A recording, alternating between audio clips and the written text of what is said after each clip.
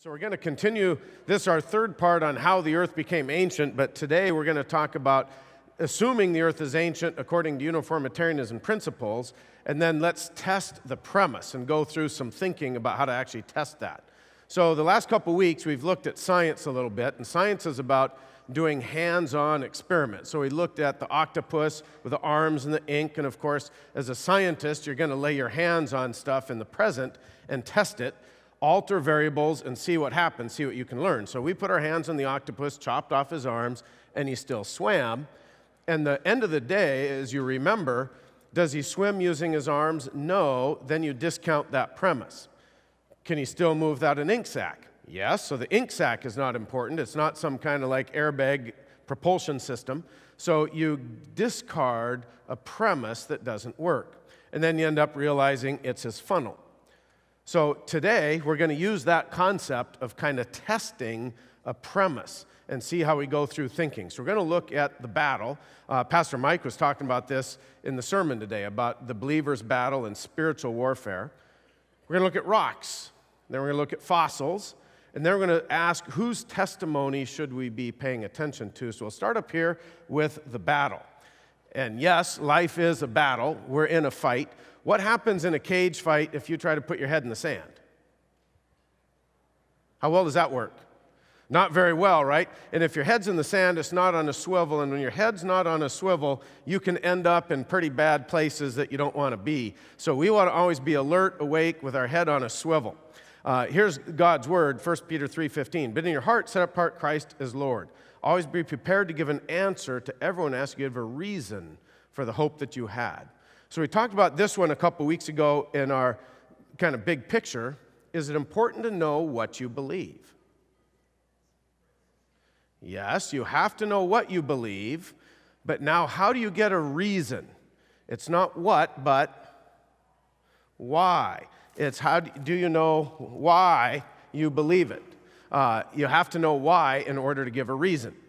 That's the real thing that I'm trying to do with this class is get us to stretch beyond just knowing what and what answers are, but why and how to think about them. Number one, to give a reason for our faith, we must be able to explain why we believe it. So here's a guy, Charles Templeton, back in the 40s. He was an evangelist along with Billy Graham. Uh, he'd went to Princeton Theological Seminary, and over the years, he ended up abandoning the faith uh, he's dead now, but he wrote this book, My Reasons for Rejecting the Christian Faith. A sad story, but some of the things he says why does God's grand design require creatures with teeth designed to crush spines or rend flesh, claws fashioned to seize and tear, venom to paralyze, mouths to suck blood, coils to constrict and smother, even expandable jaws so that prey may be swallowed whole and alive?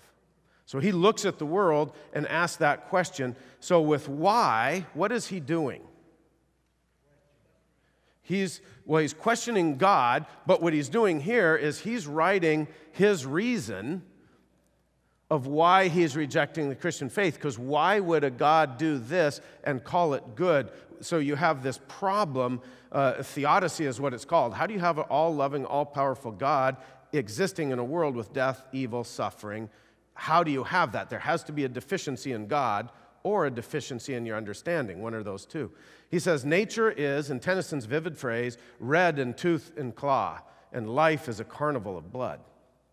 How could such a loving and omnipotent God create such horrors as we have been contemplating? So he's, that's a synopsis of his book of why he rejected God. Number two, Templeton explains why he rejected God. The reason was simple evolutionism. With ism, that's the belief in evolution. That's what it was. A different guy is saying you simply can't any longer say, as traditional Christians, that death was God's punishment for sin. Death was around long before human beings. Death is a necessary aspect of an evolutionary world. One generation has to die for new generations to come into being. In a way, it's more satisfying than to see it as a sort of arbitrary punishment that God imposed on our primeval paradise. Arbitrary, nothing arbitrary about it. All through Scripture, notice God says, if you do this, here's what happens. If you do that, here's the consequence. There is nothing arbitrary with God. So, this was Ian Barbour. Uh, and he received the 1999 Templeton Prize for what? For progress. So, what is progress? Progress from our world is rejecting God. Number three, the world gives a prize for rejecting God, calling that rejection progress in religion. The world gives a prize for rejecting God, calling it progress in religion. Here's another Templeton Award winner. And you notice he's a vicar, so these are people in the ministry. My primary aim is to demonstrate the age of the earth, or rather, the vast age of the rocks. For the simple reason that if the earth is more than 50,000 years old, biblical literalism is a dead duck. If I can persuade someone that the earth is at least a million years old, I consider the battle to be won. So you can see why this vast age of the earth is so critical for allowing evolution that allows people to reject God. Charles Hodge, uh, he is from Princeton Seminary, that's where Templeton went. He was back in the 1800s. Here's what he wrote It is, of course, admitted that taking this account, by that he means the book of Genesis, by taking Genesis by itself, it would be most natural to understand the word day, yom. We talked about that a couple weeks ago with evening, morning, number. That's a regular day. That'd be the easiest thing to understand that word as a day in its ordinary sense. But if that sense brings the Mosaic account into conflict with facts, do facts speak, speak for themselves? They must be interpreted. He's saying facts speak for themselves with millions of years. That's other people's interpretation of facts. So if one, if taking Moses straightforward comes in conflict with facts, and another, meaning, oh, they're not really days, they're long periods of time, if that avoids such conflict, then it's obligatory on us to adopt the one that doesn't have the conflict with what man says. He goes on, the church has been forced more than once to alter scripture in light of science, but this has been done without any violence to the scriptures or in any degree impairing their authority. He rejected evolution. He simply accepted the old age of the earth. And he said, the, the church has been forced to alter scripture without impairing the authority of scripture. Well, you just submitted scripture underneath man, and whoever says they speak for science now can trump the church. Just think about that. So here's the slippery slide of Princeton Theological Seminary. We just looked at Hodge, did not accept evolution, but he did accept the millions of years in the old earth. Then his son, A.A. Hodge, entertained theistic evolution, didn't teach it, but entertained it. And then he was followed by B.B. Warfield, who taught that God created using evolution. Warfield died in 1921. That was the foundation of movement in that seminary. And Templeton enrolled 20 years after that, where it's full on evolutionary teaching. Did you know the more years of education a pastor has, the more likely they are to reject the notion of absolute truth? It's a fascinating thought. I'll say it again. The more years of seminary and training a pastor has, the more likely they are to be rejecting the concept of absolute truth tells you who controls the education system. Started with Hodge rejecting simply the age. This is what the world calls progress because we get rid of that pesky thing of absolute truth coming from God. What does Christ say about this? If I told you early, uh, earthly things and you did not believe me, how will you believe if I tell you heavenly things? What is he saying?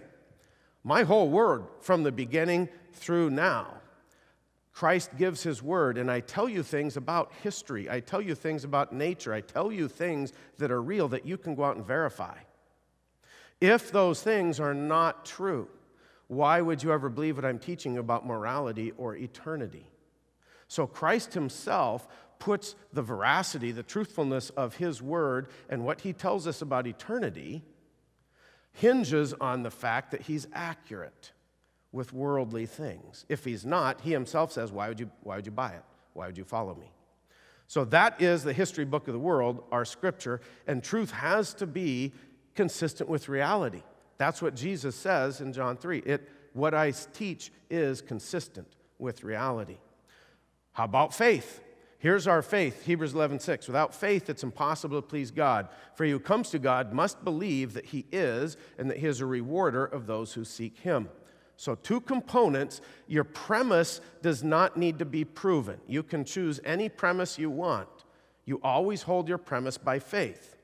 The question is when do you discard a premise when the faith is shattered enough? So you hold a premise by faith, you don't need to defend your premise. What is the premise of Scripture? You must believe what? God is. What's number two? He's a rewarder. So, what is his character? His character got you right in the eye. Uh, his character is good. Number four, the twofold premise of Scripture is A, God is. He self exists in the manner that He reveals Himself. Nothing different, nothing less, nothing altered. The way He reveals Himself. And B, God is good. That's how you have a theodicy right there, is you start with that. We're not going to get into that one today, but that's the only way you can go about answering why there's death, evil, and suffering in the world, is you have to start with God being eternal, all powerful, and a creator, and good, and his word is true, and this fallen world is not what he created. So let's move to number two here. We're going to look at rocks. So we've looked these, we've been building what we're doing, looking at this geologic time scale. Remember our textbook, uh, so this is our graduate level text. That's what we're going to be talking about when we listen about what evolution says. They tell us this is a created concept. It was not a field exercise, it was an exercise in logic. That rocks accurately measure time. That's the fundamental premise. That's where the millions of years comes from. It doesn't come from radiometric dating. Relative dating was an exercise in logic based on the following assumptions. Number one, younger rocks on top of older ones. Older ones laid down first, and it's successive layers of stuff. Number two, we're going to look at that one later, so don't worry about it. We're just talking about the rock layers. Was it based on observation? Lyell made his first book before field exercise. It was theory, and he was an attorney. He knew what he was doing. It was philosophically driven. And they tell you this was not a field exercise, this was an exercise in logic. That's where the millions of years comes from. And that means there's assumptions, there's going to be deductive and inductive reasoning. Number five, the geologic time scale requires that rock layers accurately measure time. If they don't, now the philosophy breaks down. You have to have the right glasses to see uh, what, according to natural, naturalistic philosophy, what it would mean. So we look at the Grand Canyon, and we're going to just look at the, maybe, uh, you're going to look at how there's rocks on the bottom, would be the older ones, and then rocks on the top would be younger. And that makes sense if there was a layer and then a layer and then a layer spread out over millions and millions of years. That could be true. But it also could be true that some part all went at once, and it might have been a year later, two years later, 50 years later. Another batch comes. We'll look at some stuff that we know happened like that. Of course, nobody saw this form. Uh, but the flood would basically bury stuff, that would create these, and then some kind of a dam breach is how you break through and carve the canyon. That would be a biblical model. So here we're looking at rocks. You can see there's a coal seam. Look at these layers of rock. You've got a dude standing there. What's the problem you see with assuming each of these layers could be tens to hundreds of thousands of years, measuring up to millions? What's the problem with that? Oh, what is that? Yeah, that's a tree. So that's a fossil tree. You could call that polystrate, a polystrate fossil. Poly, many. Strata, a strata would be one layer. Polystrate, some kind of a fossil going through multiple layers. See that? That would be called a polystrate fossil. Well, they don't like it being there because what's the premise? The premise is lots and lots of time, one layer at a time. How long is that tree sticking out? It's fossilized now, right? So there's tangible evidence that starts to wrestle a little bit with your chosen premise. Now, remember lithology, when they started making the geologic time scale, they used rock types. They discarded that. There's no way to get time out of it. That's why you don't ever hear about it anymore. But even back in the 1800s, by studying rock type, they realized something. The layers with these fossils, and sometimes it's fish and leaves that span layers. Those aren't going to be sitting there a long time. So they realize the rock layers that have these kind of fossils have the same minerals as rocks that don't. So you can't say they're a different type of rock. Here's one coal seam, coal seam. Those are millions of years apart. Layers, see the tree. There's another one. Look at all the layers. Here's this tree. Where is the evidence of soil? Remember, Darwin said in his book, you look at today the slow rates of soil deposition and erosion. It's got to take millions of years to stack up these sedimentary layers. Sedimentary means laid down by water. Wonder what a water source could be. So, sedimentary layers with a fossil spanning however many thousands to millions of years that's supposed to be. Where's the soil and where's the erosion? It's never there. So I just looked up, uh, this is a Talk Origins, that's an evolution site, to see, because my textbook says nothing about polystrate fossils. How about Talk Origins? Well, here's what they say. It's hard to see, but they say here's a creationist claim, 331, uh, that polystrate fossils present a problem for uniformitarianism. Uh, here's their response Sudden deposition is not a problem for uniformitarian uh, geology. Single floods, so you notice they're using little, little catastrophes, you can't have a big one. Single floods can get rock layers several feet thick. And you can have tree stumps that last in there for decades. Did they answer the question? They didn't answer. They didn't even delve into the assumptions behind the issue. The issue is millions of layers, and you got a fossil sticking between them. So they say, well, yeah, a flood can get something several feet thick. Who cares?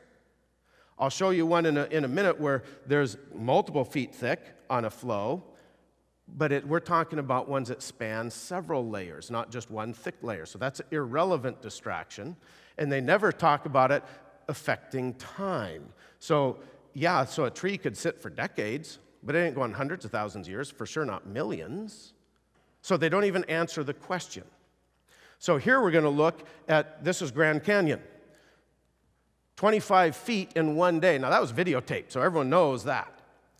These layers, see the layers, and then several weeks later, another mud dam broke, and this was one other flow. Look how thick that is. That was a big mud flow. But all of these with different layers was also one flow. It wasn't one, then another, then another. And that was witnessed up at Mount St. Helens. Gordon was asking about Mount St. Helens last week. There's a ton of stuff there that we don't have time to get into. Number six, True or false? Man has witnessed rock layers get deposited quickly. That's true. Look at Mount St. Helens. So we should start with things that we know are true rather than pontificate on things that we don't. Well, the premise is look at all the layers. The premise is one layer on top of another, on top of another over millions of years. How do you fold a rock?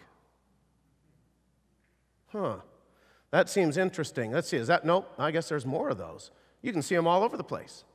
So, how do you fold these rocks? There's a hammer for scale. Look, that big S curve. Look at all the layers and look at that super S curve. And you notice they aren't broken. Even microscopically, there's no fracture in the rock. How do you bend a rock?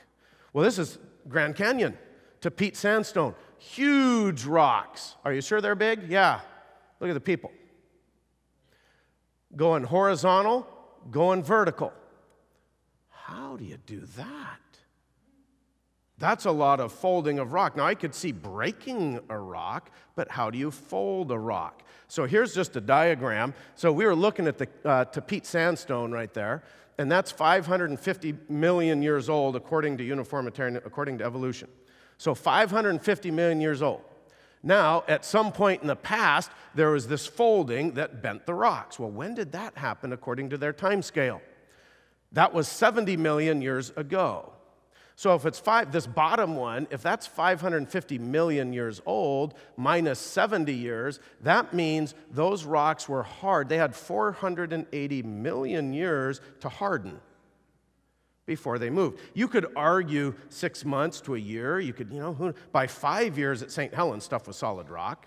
So you're not really going to be able to go more than five years, but you could argue a short period of time. But how do you argue your rocks were able to be folded without fracturing after 480 million years? I sense a problem with the premise. There you see another one. Weaving around, more horizontal, weaving, going straight north. Look at the dudes. Those are big rocks. They're hard rock. How do you bend hard rock without fracturing it? Or was it more like taffy? Was it freshly laid down? But that would require not having millions of years between each of those layers. That would mean they were laid down more at the same time. And while they were still soft like taffy, you had upwarp, volcanic activity, that sort of thing, and you move it. That fits with a biblical model of a flood far more than it does the uniformitarian.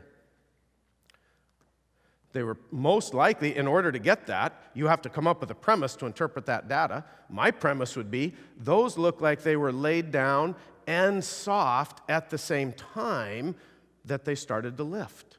That would make much more sense to me. Number seven, it would be very difficult to bend thick, hardened rock without fracturing it.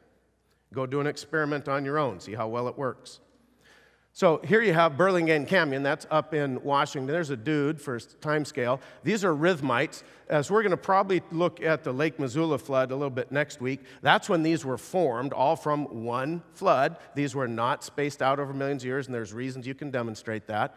So here you see Lake Missoula was over here, a glacial lake, and it breaches a dam. Uh, helps with our Willamette Valley we live in here, and that is where Burlingame Canyon is as you go out to the Pacific Ocean. So it was backlogged, built the layers. When was this canyon carved? That was in the 1920s, witnessed. There was a big uh, flood, a local flood. It was a drainage ditch breached its dam and carved this big canyon. It took six days of flooding, and then there's your canyon. So it was formed rapidly, layers, and then you carved the canyon rapidly. Didn't take millions of years.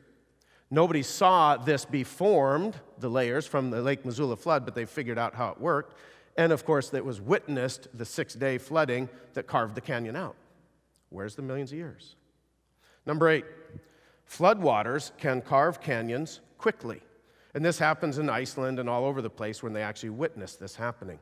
Now, when we go back to our textbook, they say the millions of years, which means rocks accurately measure time, that conclusion was driven by data. Derek Ager is not in this book. Uh, he's an atheist, so he's not a Christian, a creation guy. But he, different from Lyell, who started writing before he ever went on a trip, Ager is a world expert, wrote a textbook of the stratigraphic record, Layers in the Earth, and he adheres to neo-catastrophism. So he already rejects the Bible millions of years, but he realizes uniformitarianism does not create all the land features that we have. It doesn't even come close. You have to have floods and dam breaches and stuff like that to do it. But that was rejected by uniformitarianism because they had to get the millions of years. He says, I've been trying to show how I think geology got into the theoretician's hands. By that, he means the uniformitarian guys, who are conditioned by the social and political history. What is that? That's a desire to get rid of Moses. Of their day in the early 1800s, more than observations in the field. And this is an atheist. He's not on our side of the street. So the text says the conclusion millions of years was driven by data. This world expert says, no, that's not true. It was not observations in the field. It wasn't really data. It was social and political history of their day. He's exactly right. Huh. And he's an atheist. So I always like to ask why. Why is he now willing to share this stuff? He's already an atheist. The battle has been won. Look at the school system. Nobody teaches catastrophe. It's all uniformitarianism. It's all millions of years. So they've already gotten rid of Moses. They've already gotten rid of God. So he doesn't see the philosophical need for the battle that they had 150 years ago. So he can say, why don't we be real scientists and use our glasses? Because that contradicts the millions of years, right? But he's already bought the millions of years. He even says this is mind control. We've allowed ourselves to be brainwashed into avoiding any interpretation of the past that might involve extreme and what might be termed catastrophic processes. Brainwashed, wearing only a certain set of glasses, looking at the geologic time scale and thinking rocks must actually measure time, but that's a created concept. So we look at the passage of time uniformitarianism, evolution would say this process of passage of time is important. I got a little clip that'll explain this. Governor and I, and we were all um, doing a tour of the library here and um, talking about the significance of the passage of time, right? The significance of the passage of time. So when you think about it, there is great significance to the passage of time in terms of what we need to do to lay these wires, what we need to do to create these jobs. And there is such great significance to the passage of time when we think about a day in the life of our children. So I figured that would clear it all up. There's great significance to the passage of time. So you can listen to foolishness, which anyone can spot. Let's compare that to looking at wisdom. What does Christ say? He's telling about a guy. I will say, not Jesus, but this guy, a rich guy. I will say to my soul, Soul, you have many goods laid up for many years to come. Take your ease, eat, drink, be merry, retire, don't engage in the battle. But, and when God says but, you need to read what comes next. God said to him, You fool, this very night your soul is required of you. Do you see the difference between that psychobabble you can't understand and wisdom teaching about the importance of time? Are you using your time wisely? Comes from the Lord Almighty, and it's very clear what he's saying don't be a fool. So here's a question does God say anything in Scripture about rocks and time? Come on. What's that? Oh, Aaron Haas. The Israelites used them all the time as memorials. The Ebenezer stone, you cross the River Jordan and you stack what? Paper? Rocks. Rocks withstand time. They sit there, they're static, they're stationary, they're a memorial of an event. Despite the passage of time, they're not used to measure time. Look at how God views rocks differently than us. Are they a measurement of time? No, not at all. God says they are used as memorials. What did he write the Ten Commandments on? Stone, rock memorials of events, not measurement of time. Number nine, God uses rocks to memorialize events, not as a way to measure time. So we look at this geologic timescale. What would it be a memorial of? What big event? Death. And what big one would get a lot of it? Oh, that was a weak toss here. The flood the flood of Noah, those, those uh, peanut butter cups curve quite a bit. Uh, so now we're going to go look at fossils. So we realize fossils are a memorial of death. And they could be all sorts of death, but that's what fossils are in God's eyes. Here's a memorial in stone of death. It's not a measurement of time. So we're going to look at a fossil graveyard, and you could start with the Word of God, and you could look at that data and conclude ah, sin leads to death, just like God says. And you know what? He had a big one in the past where he's going to marry billions of dead stuff in piles, fossil graveyards. How do you get a fossil graveyard with washing stuff around? They weren't living there, it's where they were buried. That's a fossil graveyard, and they're all in sedimentary rock, which means delivered by water billions of years would be a different philosophy. You could say, no, no, no, we want to believe that rocks accurately measure time and they accurately measure when things lived, and you're going to look at that, and now you could conclude the geologic timescale. But without the millions of years and without rocks accurately measuring time, you cannot come to this. So we're going to do science. We're going to take a hatchet to the arms of the octopus. How could we use science to test the premise that rocks are an accurate record of when things lived. That's what we're going to look at. If this is a measure of time, doing it accurately, how would you know when something went extinct?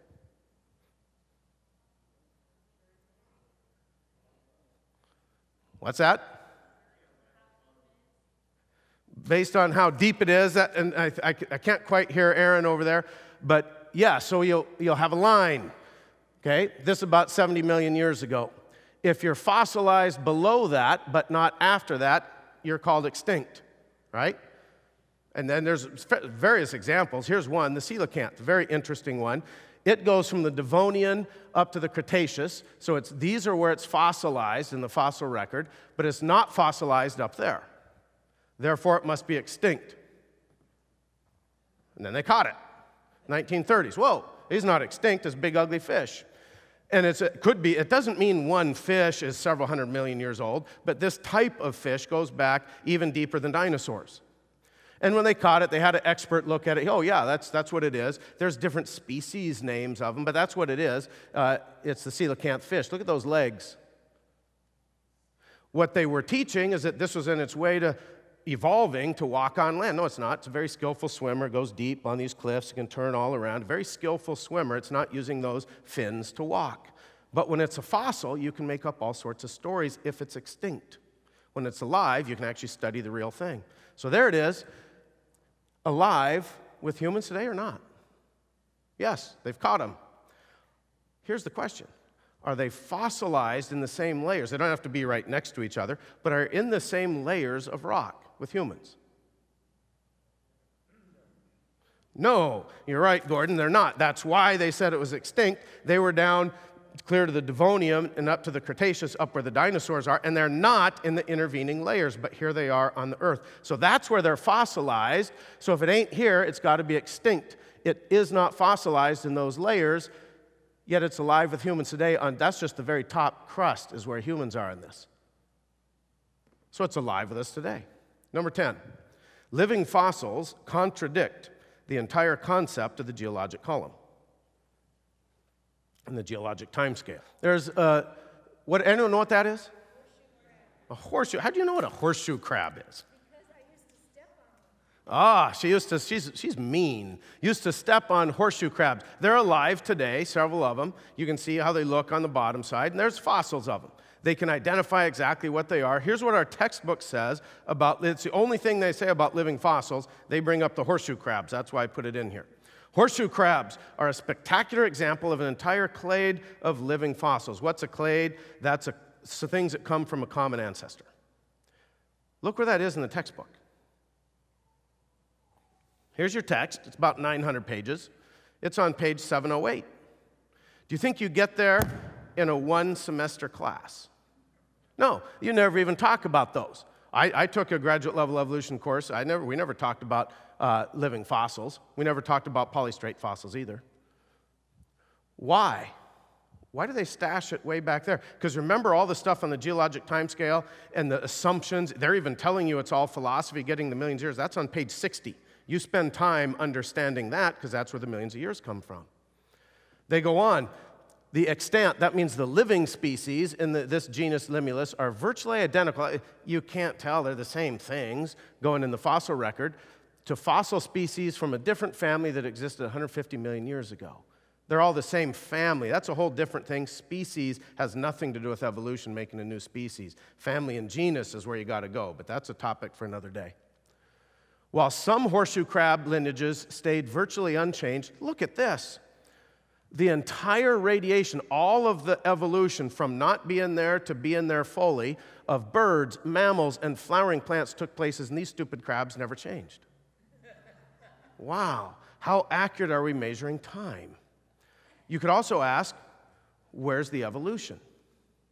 So here's what the textbook says on why are we not seeing the evolution of these crabs. The current view is that there is no explanation.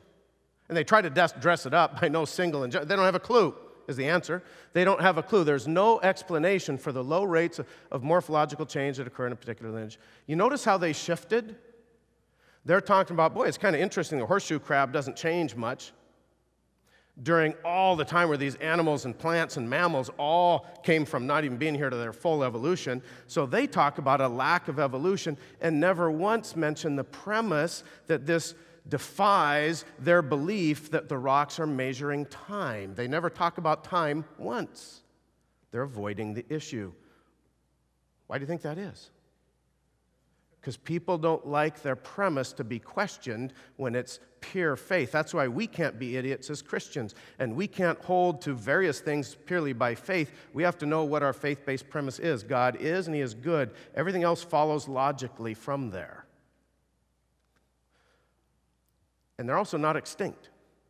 Look at what's that? Platypus.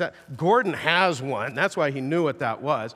Uh, Gordon's got to work on his hands a little bit. Maybe new glasses, Gordon. But the platypus is not extinct. When things aren't extinct, you can't make up stories about them. When they're extinct, you can make up all sorts of stories about their evolution. Imagine finding that in the fossil record not alive today. That's a beautiful example of a missing link. Except it doesn't work. I think God mocks them by having it still alive today so they can't tell stories about it. But what is never addressed? I showed you an evolution side on polystrate fossils. The textbook never mentions those, and the textbook thing on living fossils is extremely brief and distractioning. It's a big distraction. Because here's the premise rocks are an accurate record of time. They can't allow data that clearly runs contrary to that because you have to interpret your data. Remember what page the living fossils were on? Page 708 and 709. It's on two different pages there because they're just. It's one paragraph on two pages. End of the book. Number 11. Evolutionism tries to avoid discussion of concepts that challenge its premise, that being that rocks accurately measure time. So they talk about this lack of evolution. The horseshoe crab goes clear back to here, all the way up to here, with no evolution. Wow. This is invertebrates down here in the Precambrian. That's just above the Cambrian. That's where everything starts. How is that measuring time if you're not changing at all? There's no explanation because that's a made up premise. They invented the concept. So, why do they not mention it? Because rocks don't measure time. So we go back to the Grand Canyon and we look at this. There should be older ones on the bottom. You should have younger ones on the top if you're laying them down in sequence. But that's assuming they measure time. They might not have been laid down in sequence over millions of years. Here's a Wollemi pine that's alive today, but it was supposed to be extinct 200 million years ago. Is it ever fossilized with humans?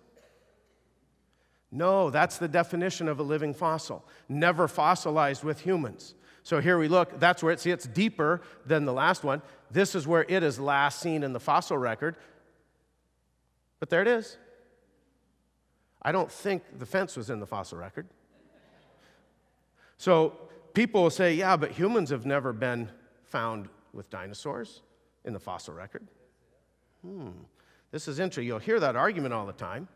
Let's just simply use, let's assume that's true. Let's assume there's, there's various things, there's all sorts of historical records where very clearly they lived at the same time, but let's just go here with logic. Yeah, man was never fossilized with dinosaurs. Therefore, man never could have seen or lived with a dinosaur. Why? Because the rocks accurately measure time, and man and dinosaurs are never found clearly fossilized together. Let's just accept that. But think of the logic. Do the facts speak for themselves or must they be interpreted? So we're testing the premise. Number 12 for rocks to accurately measure time, things living together today must be fossilized together. As far as we know, are there dinosaurs today? You could use a Komodo dragon and stuff like that. But if we say, okay, those dinosaurs that we all know are the cool ones, let's just say there's not a single one of them anywhere on the earth, does it matter philosophically? Because if you are living at the same time, you have to be fossilized together in the same layers. That's required. The truth must be consistent with reality. If you're alive today, if the rocks accurately measure time, you must be buried in the same layers. You don't have to be side by side. One could be in Africa, one could be in Australia, but they'd have to be in the same layer, right? How do you know when something went extinct? It ain't found after that level, whatever the level is. But that's true only if they accurately measure time. How many living fossils? They all fit the same definition. Found down there, not anywhere in the last several hundred million years in some cases, yet alive today with man, yet not ever fossilized with man. How many of those? I showed you three. There's one museum in England, one little museum that has over 500. So there's at least 500 of these living fossils. The same philosophical issue as walking around with a dinosaur. So, philosophically, finding a horseshoe crab, a coelacanth, or a little fern isn't nearly as cool. And I realize in the movie they got the DNA and remade them, so I, I understand that.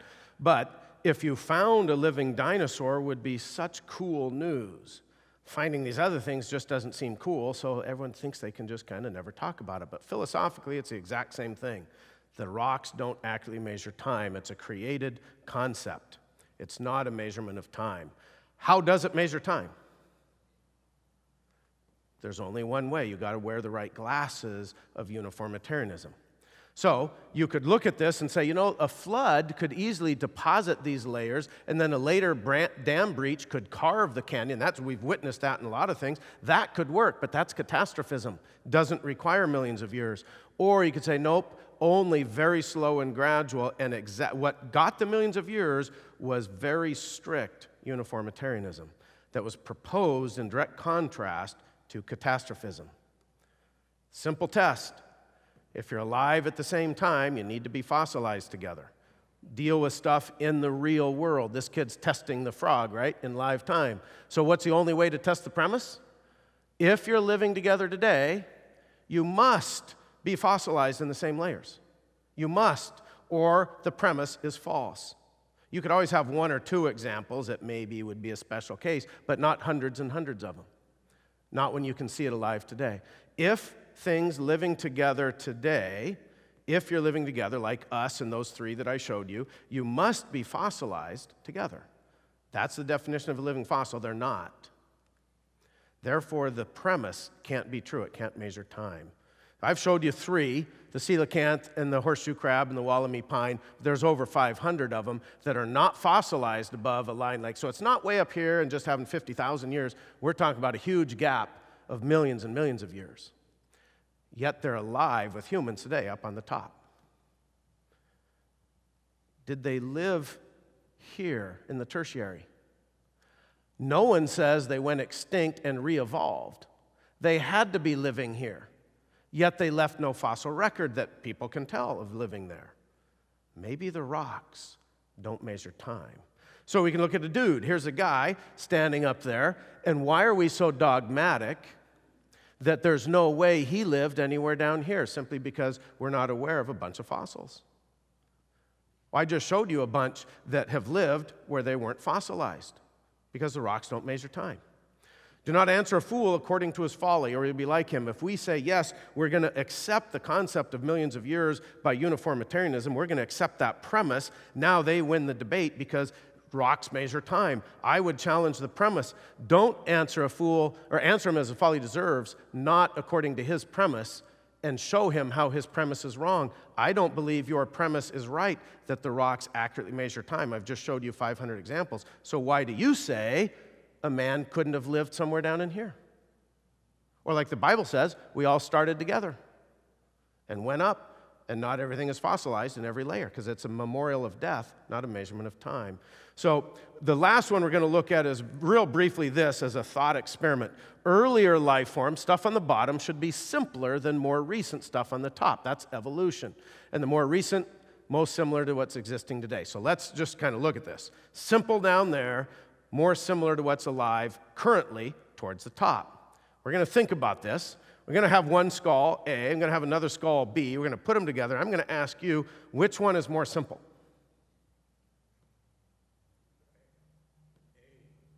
Okay, we have a couple votes for A being more simple. Uh, at least they're willing to talk. All right, so we've got a couple votes that A was more simple, which means it should be deeper. Right? Well, which one's alive today? So I gave you a T Rex. That's a softball right? Is that alive today as far as we know? Outside of Jurassic Park, it's not. But here's, here's the point number 13. It is possible to feel a philosophy when forced to answer questions. Because you don't know what that stupid fossil is right here, fossil A, if we could have it back up there. You're not sure what that is, so you're not sure how old it's supposed to be, so you're not sure what you're supposed to answer. Anyone know what it is? Gordon, whew, I mean, you are stealing all my candy. Oh, he had three shots on it, almost brought it home. That is a black bear, it's alive today. I just picked one that looks like maybe it's some kind of saber tooth thing, trying to make you get confused. So here's the column way back here, the Cambrian, so invertebrates down here. This is where only simple stuff supposedly is supposed to be here. All of that together is about 540 million years. So now, which one is simpler? This single celled organism or this multicellular fish? The single cell has got to be simpler, right? There it is.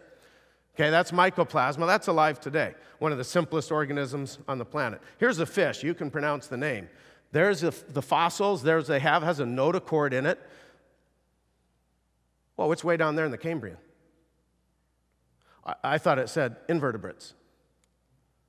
There's the name, and that's remember it's 540 million years. That's 530 million years old. That's way down at the bottom complex multicellular creature. So mycoplasma is alive today. So we're going to ask the question because simple was supposed to be at the bottom. So which one of these is simpler? Well, that one. But it's alive today, very top. Which is more similar to what's living today? Well, this one is living today, so it has to be. But I've seen a lot of fish that are similar to that. So I'm confused. I thought it had to go in a progression. Now, of course, I'm just handpicking some examples, but it runs totally contrary to the whole premise. Think. We're supposed to go simpler to more similar to what's alive today. So the last thing we'll do is just look at whose testimony. If somebody raised from the dead, how powerful would that be? Let's look at what Jesus says. In a par- this is not a parable, because in parables, there's not a proper name. This is Lazarus and the rich man. Lazarus is a real dude. Jesus telling the story. This must have really happened. It's not a parable. Uh, and the rich guy, who's on the bad side of, Abraham, of uh, Hades, answered and said, I beg you, Father Abraham, send Lazarus to my family, for I have five brothers. Let him warn them so they will not also come to this place of torment. Abraham replied, They have Moses and the prophets. Let your family listen to them. No, Father Abraham, but if someone from the dead rises and goes to them, they will repent. What does Jesus say about that? Abraham speaking, but Jesus telling the story, said to him, If they do not listen to Moses and the prophets, they will not be convinced, even if someone rises from the dead. Wow. Who do they have? The book of Genesis. Number 14, according to Jesus, the testimony of Moses outweighs that of a resurrected friend. That is powerful. Now you see why Lyell thought and knew he had to get rid of Moses. Because Moses starts it right off telling us about who? God. And then God gives us history of the world. Uh, and this passage, I'm going to go fast. The Lord's servant must not quarrel, must be kind to everyone, able to teach, not resentful those who oppose him, must gently instruct and hope that God, God, will grant them repentance and knowledge of the truth. I was talking with Luke here last week. How come there's people you can talk about data and they will never see it? Well, they'll come to the, hoping that they'll come to their uh, uh, senses and escape the trap of the devil who has taken them captive to do as well. You can't do that. You need to be able to teach and be loving, but only God can work supernaturally in their life and cause the blinders to open up because there is a powerful foe. Mike talked about this in the sermon tonight with schemes what premise do you believe and hold on to? 15. The real reason many are resistant to the truth, capital T, of God's word is Satan.